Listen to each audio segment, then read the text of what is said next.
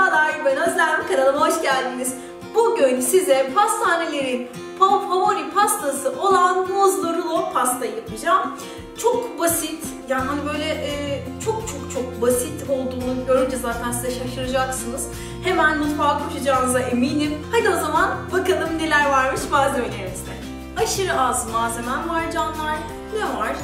Bir çay bardağı şeker, bir çay bardağı yarım çay bardağı nişasta, 4 tane yumurta, 1 paket vanilya, yarım paket kabartma tozu ve yarım çay bardağı ılık suyum var.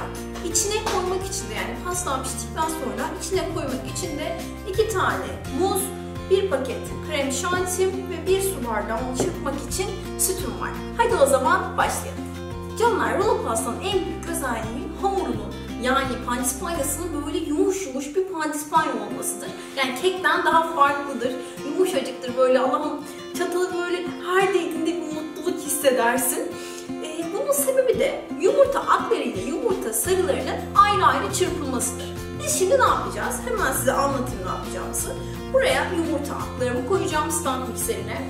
Bu küçük gördüğünüz bu cam kabada yumurta sarılarımı koyacağım ve ayrı ayrı çırpacağım. 4 tane yumurtanın akını stand mikserine koyuyorum. Siz tabii ki stand mikseriniz yoksa da el mikserinizde ayrı ayrı kaplarda önce yumurtanın akını daha sonra yumurtanın sarısını çırpabilirsiniz.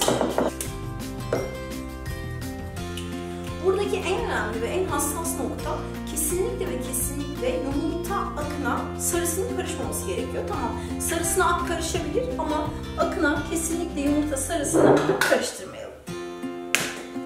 Ve son yumurtamı da içine atıyorum yumurta akını.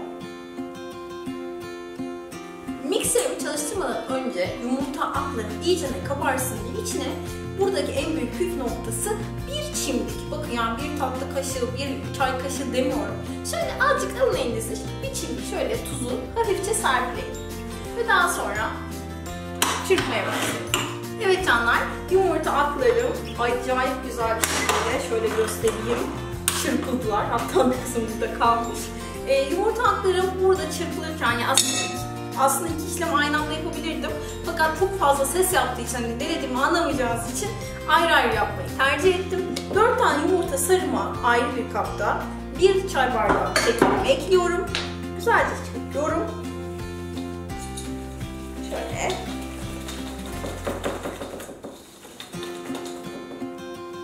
Yarım Türk fincanı ılık suyumu ekliyorum. Yarım çay bardağı nişastamı ekliyorum.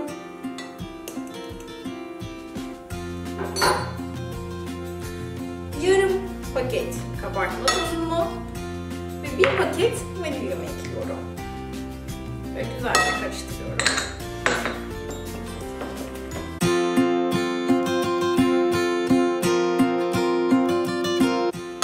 Daha sonra da bir, bir çay bardağı unumu ekleyip çırpmaya devam ediyorum. Un oldu mu? Şimdi buradaki hamurumuz un miktarı sıvı miktarına göre biraz fazla olduğu için katı bir hamur olmaya başlayacak. Çok normal. Güzelce şöyle çırptık. Homojen bir hale getirdim.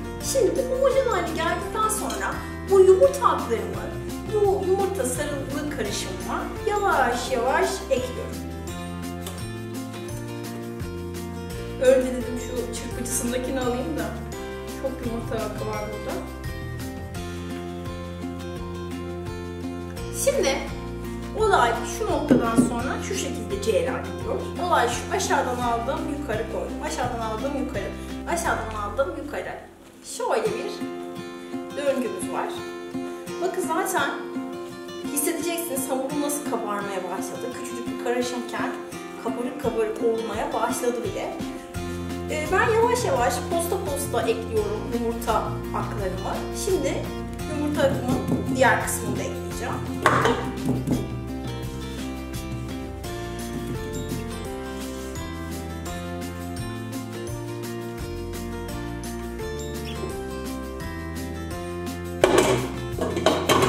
Ekledikten sonra gene aşağıdan yukarı. Amaç homojen bir karışım elde etmek yoksa yumurta kokusu alırız. Yumurta kokusu almamak için güzelce homojen bir karışım yapmamız gerekiyor. Zaten içinde çok fazla bir yumurta yok. 4 tane var. Ama şöyle homojen karışımımızı pişirme kağıdı serdiğimiz bir tane tepsimizin içine güzelce döküp güzelce yayıyoruz. Bakar mısınız ne kadar homojen olmuş. Bütün her şey birbirine karışmış. Hiçbir renk farkı yok, bir şey yok. Hani bu çok önemli. Ne kadar homojen olduğunu gösteriyor bize bu. İyice alalım. Ziyan olmasın. Evet canlar, daha sonra bunu güzelce yayıyoruz.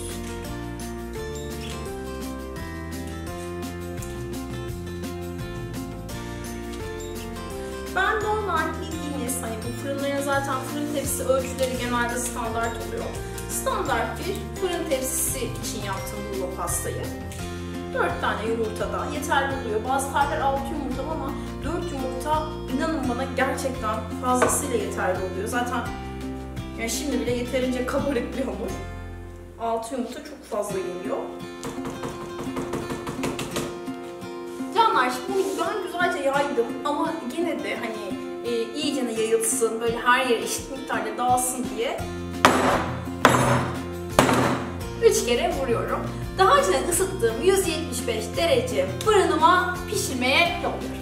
Evet canlar, fırında rulo pastamın pandispanyası pişerken burada krem şantisini yapacağım. İsterseniz pastacı kreması da yapabilirsiniz. Ama ben daha kolay ve pratik olsun diye e, normal hazır satılan krem şantiler var ya, onun bir paketi şu kadar yapıyor. Normal bir paket krem şantiyi bir su bardağı soğuk sütle güzelce çırpacağım ve içine sürmek için hazır hale getireceğim. Fırında pandispanyam pişerken krem şantiyi de burada çırpıp biraz dolaba koyacağım ki katılaşsın, daha kolay sürülsün diye. Şimdi de çırpalım. Evet canlar, pandispanyam çıktı. Ee, güzel pişirme kağıdı olduğu için altında hemencik şöyle kurtardım onu tepsiden. Şöyle tepsimi şuraya koyayım. Daha sonra bunu şöyle arkasını çevireceğim. Ve kolay kolay kolay kolay pişirme kağıdından ayıracağım. Dökmeyin etrafa çok. Şöyle. Şurasını aldık mı? Tamamdır. Evet canlar. Şimdi pandispanyasının ne tarafını kullanmak istiyorsunuz? Bu tarafını mı istiyorsunuz?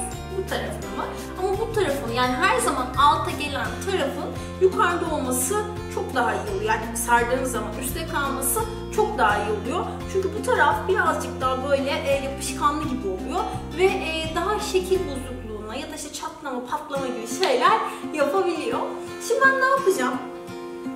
Ben öncelikle krem şantimi güzelce pandispanyama süreceğim. Ama birazcık bırakacağım krem şantimden ki üzerine böyle süs yapabileyim diye.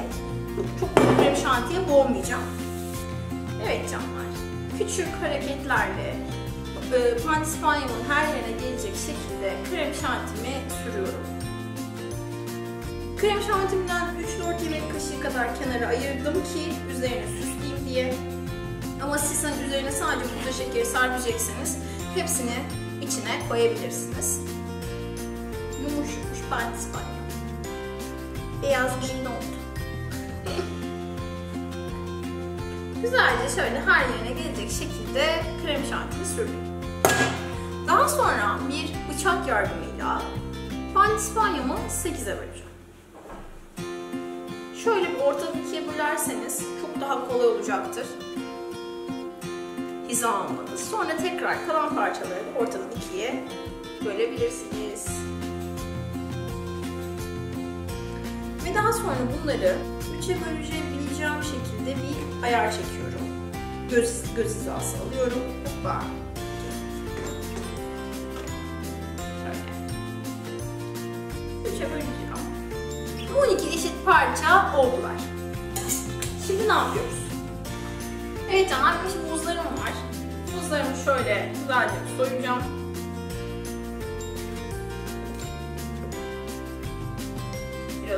Biraz oradan. Şöyle. Bir tabağa koyayım. Bir saniye. Evet canlar muzumu şöyle bakıyorum. Şu kadar yeterli. Demek ki o zaman bir muz yeterli olacak. Tekrar dörde bölüyorum. Bir muz yeterli oldu. Bazen muzlar küçük oluyor. O yüzden yeterli gelemeyebiliyorlar ama muzumuz bayağı uzunmuş. Yeterli geldi. Daha sonra bir tane muzumu alıyorum. Pandispanyamı içine koyuyorum. Ve pandispanyamı güzelce sarıyorum. Artık pandispanyaları bir tatlı üzerine koyacağım. Şimdi bir tane daha sarayım. Şöyle içine koyduktan sonra şekilde sarıyorum. Krem şantisi artabilir. Bir bıçak yardımıyla şöyle alırsanız krem şantisini koyabilirsiniz. Üzerini süsleyeceğiz ya birazdan.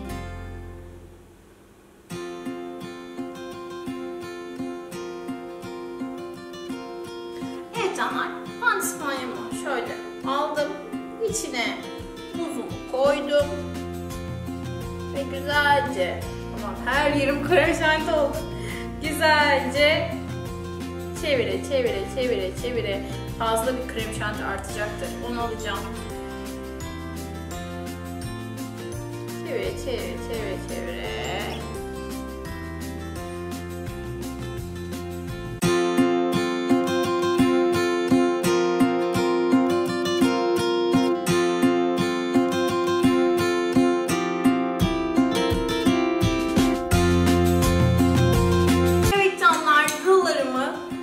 Haline getirdim. Yani döndürdüm.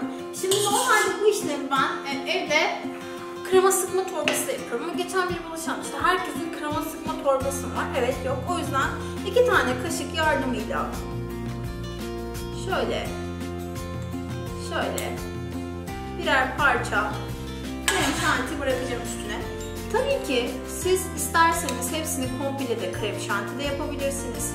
Ya da krema sıkma torbasıyla çok çok daha şık bir görüntü de verebilirsiniz. Yine burada böyle şık şık yaparız şöyle şöyle. Evet canlar şimdi en eğlenceli kısım tabii ki tadım kısmı. Biliyorsunuz diyetteyim o yüzden şu en küçüğünü alacağım. Ve sadece ve sadece bir çatal alacağım. Şimdi bir çatal deyip geçiyoruz ama ben şimdi mesela buraya geldiğim zaman 4-5 tane video çekiyorum. Bir çatal bir çatal bildiğiniz bir porsiyon yemek yemiş oluyorum. Onun için dikkatli davranmam lazım. Bakar mısınız nasıl hemencecik güzelce kesiliyor. Puf puf bir hamur var. Kesinlikle yumurta kokusu yok.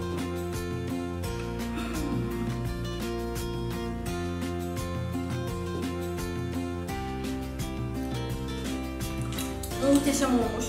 Harika bir lezzet. Mutlaka deneyin. Sayfama abone olmayı, beğeni ve yorum bırakmayı unutmayın. Kendinize çok iyi bakın. Hoşçakalın.